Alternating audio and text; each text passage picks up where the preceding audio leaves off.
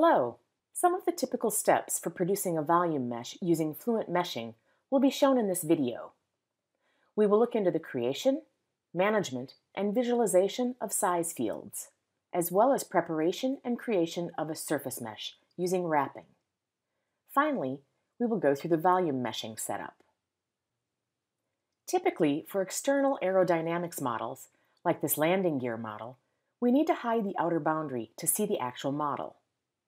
As we select the zones to hide them, we can verify that they have proper names.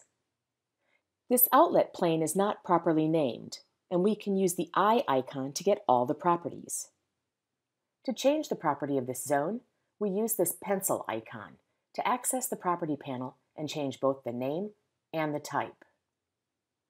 For wrapping, we need to create a size field. Setting an appropriate min size for the size field definition is often the most important step. This hole is a good representation of the minimal size we want to capture. So let's measure it by picking a couple of nodes and using the measure icon. It's between a half and one millimeter. Usually for external aerodynamics models, we need a refinement region to capture the flow in the wake. We have one such region under the geometry objects called BOI, short for body of influence. I can add it to the display and remove it again. This BOI needs to be added to the size field. From the model tree, we can access the mesh sizing controls, and we will use the scope sizing to assign parameters. We can set global min and max sizes. We can use sources like curvature, proximity, hard, soft, mesh, and BOI to define sizes, and these can be assigned to object faces and or edges, globally or locally. Both the scoped size controls and the calculated size fields can be saved and retrieved. So, let's read in a predefined size field to see what it looks like.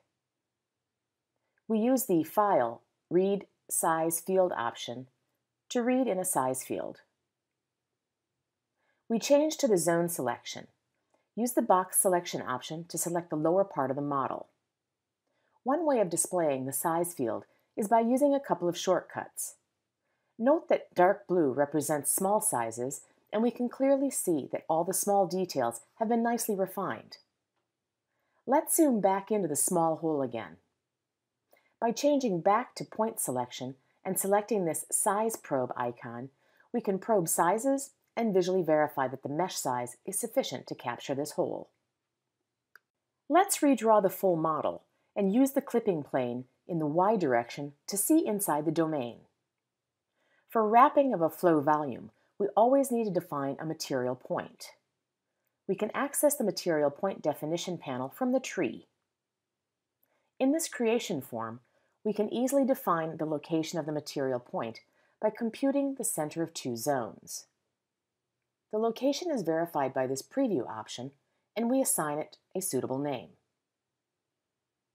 We now are ready to make the final preparations for wrapping, and the context menu in the tree actually works like a checklist.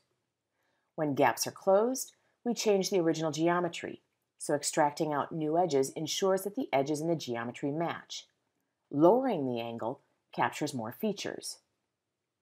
We have intersections between the hull and the gear, so we need to extract all those intersection loops. We have the option to do both high and low wrapping, high being the default, resulting in excellent feature capturing, while the low is the quick and dirty option. All holes should be closed in this model, so we can go straight to the wrap panel. Assign a name and select the material point. By setting the resolution factor to 0.5, the initial wrap is much finer, leading to better geometry capturing. Wrapping of this model will take about 10 to 15 minutes, so let's instead open the ready wrapped model in another session. We have a new mesh object in the tree called fluid, so let's draw it. We hide a few faces and look at the mesh on the landing gear. We can see that the details have been well captured and that the quality of the surface mesh is excellent. We can further verify this by using the summary option in the context menu. For a surface mesh, the skewness should have a quality value below 0.7. By accessing the quality section of the diagnostics tool, setting the quality bound to 0.7 and clicking on Apply All, the quality criteria can be reached. Before volume meshing, let's compute the regions.